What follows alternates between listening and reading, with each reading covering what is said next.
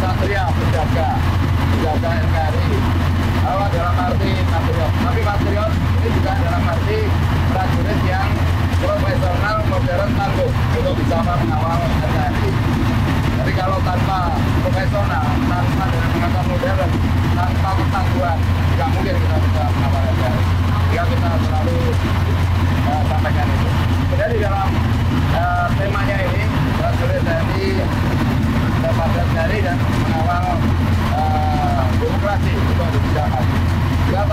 tahun 2024 adalah tahun pemilu, tahun politik. Ya, tentunya kita harus songsong tugas yang lebih berat tersebut dan kemudian kita kawal demokrasi supaya berjalan dengan aman, lancar, dan sukses sampai selesainya nanti pemilu.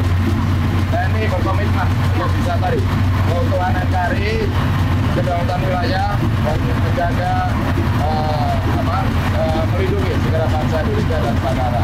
Saya kira di tahun 2004 itu semuanya, ya semuanya akan muncul dan itulah nanti yang akan kita Jelajahi cara baru mendapatkan informasi. Download Metro TV Extend sekarang.